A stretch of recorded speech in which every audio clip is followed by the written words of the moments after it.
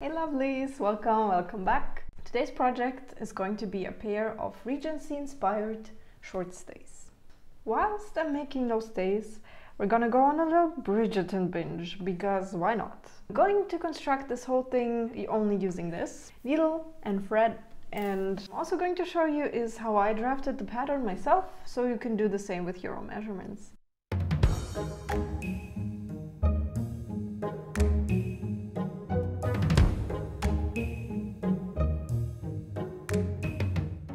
Start off with drawing a vertical line with the desired length of the stays. Next up, you draw a horizontal line with your bust measurement divided by 4 and make that a rectangle. Then measure out your cup height and draw another vertical line, the underbust line. From that underbust line, mark out your underarm to underbust measurement. Then mark out 4 centimeters and construct a slight curve for the underarm like so. Take the nip to nip measurement divided by 2 and mark it on the underbust line. From there you mark 1.5 centimeters in both directions and draw two vertical lines. This is where the cup inserts will go. And the last step is to mark the position for the boning and the lacing. To make things easier for the back piece, I simply traced the front and added the boning positions. As for the shoulder strap, I simply took the measured length of the strap and subtracted that one by 3 centimeters. And the last step is then to round out those curves. For the cup inserts, first we draw a vertical line with the cup height. Then there's a tiny bit of math. So, first we subtract the underbust measurement from the bust measurement. If your bust measurement was 90 and your underbust was 80, you would have the difference which is 10 and divided by 4 that would be 2.5 and that's the width of your insert. Make that a triangle, round it out, and you have a pattern for the stays. Congratulations! I finished my stays off with bias tape, which you can make yourself, or, you know, buy it in a store. Your choice.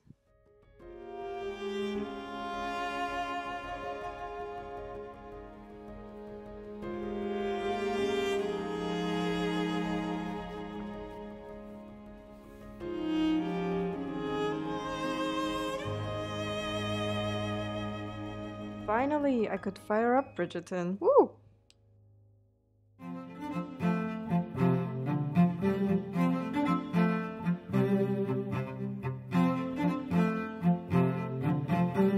So I was happily basting along and then this came out of nowhere.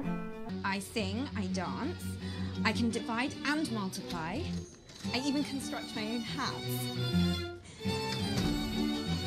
thought, wow, they could have ended the season right then and there. If Anthony were as rational as he claims to be, because who doesn't want a crafty girlfriend, am I right?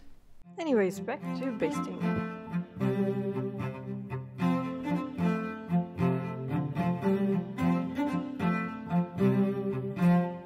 Your character is as deficient as your horsemanship. I shall bid you good night. If that's not a sick insult, I don't know what is.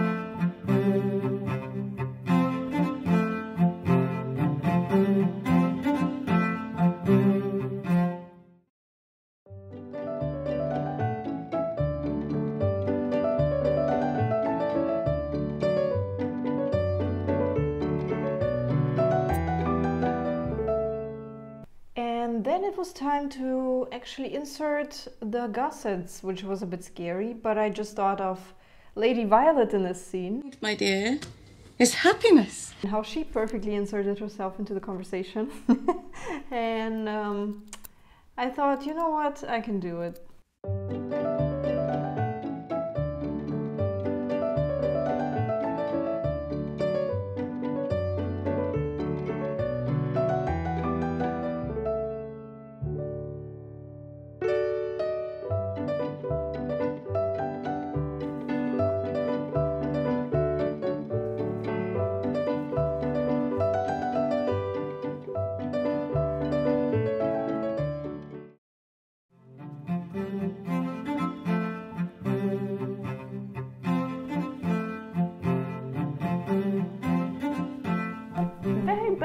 Part of the Featheringtons are really those small kind of ticking offs that poor Penelope gets from her mom.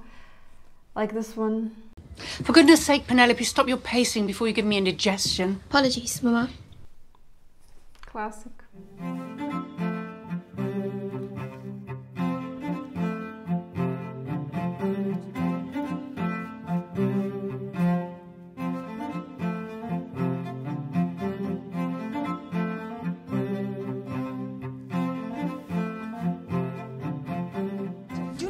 Tell No, me no, stand still, what damn to it. do.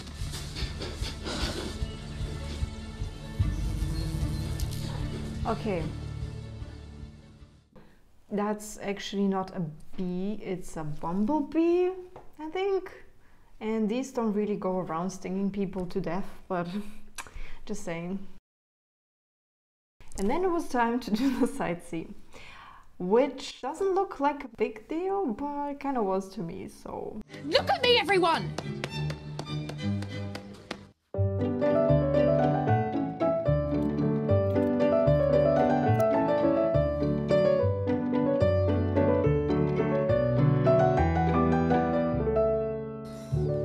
Oh. I'm so sorry. Daphne. That's bad timing if there was one. And right when you think, okay, this couldn't get any worse, it did. Edwina. My lord? Miss Edwina Sharma.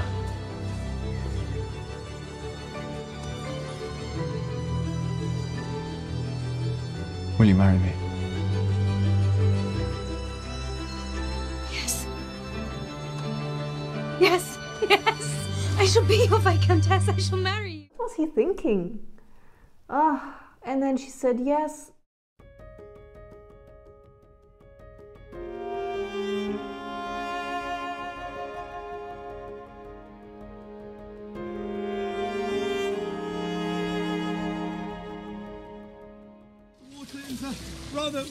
Refreshment. Is it not, Bridget? Woo! Refreshing indeed. Okay, so I enjoy a wet man out of the water scene as anybody does, but does he really need to undress himself completely to get out of the pond? I mean, but you know, whatever. I'm not complaining here.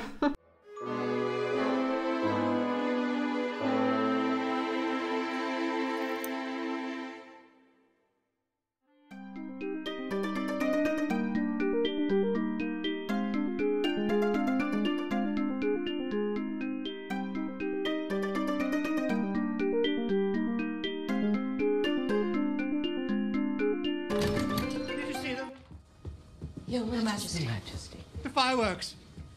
They were brilliant. he really saved the day, in my opinion, because otherwise, who knows what the queen would have said or done or whatever. She will make a most excellent queen. Your Majesty. I really like the look on the on the king's face when when she stops speaking. Like, who are you, young lady? Have I seen you before?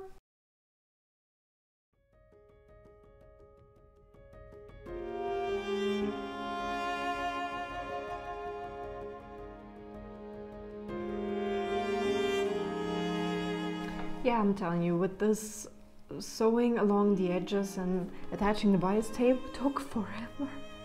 It just took forever. And so did this episode, in, in my opinion. It was so long and so nerve wracking, and I really just wanted it to end.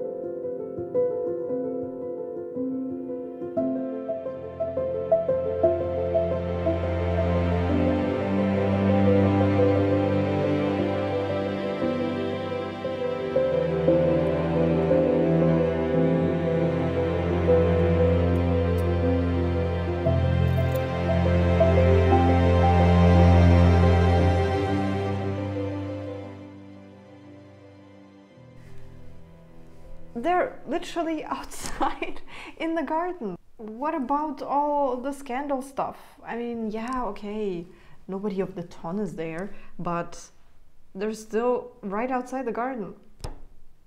Isn't that a bit risky? Yes, finally, finally, we get to see some underwear.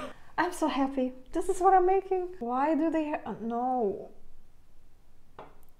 Some Another conflict? Really?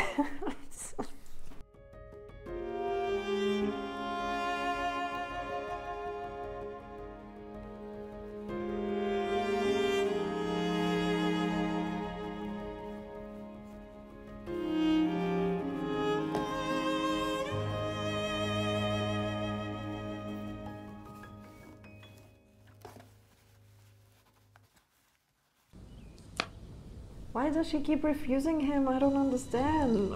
Please go. Kate.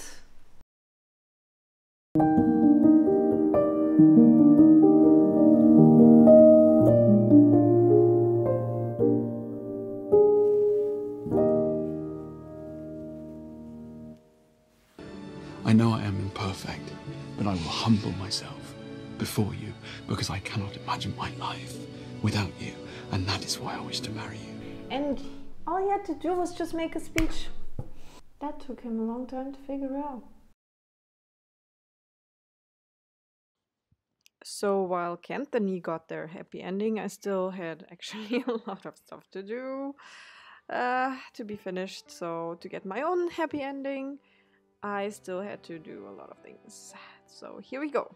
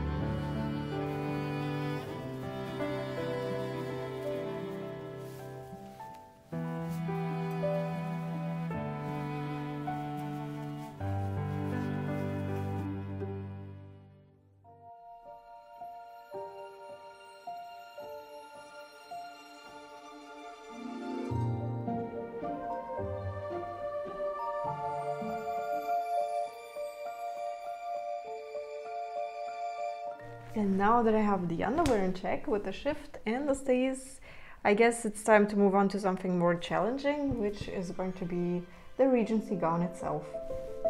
And if you want to see how that one goes, just subscribe to my channel and uh, you'll see.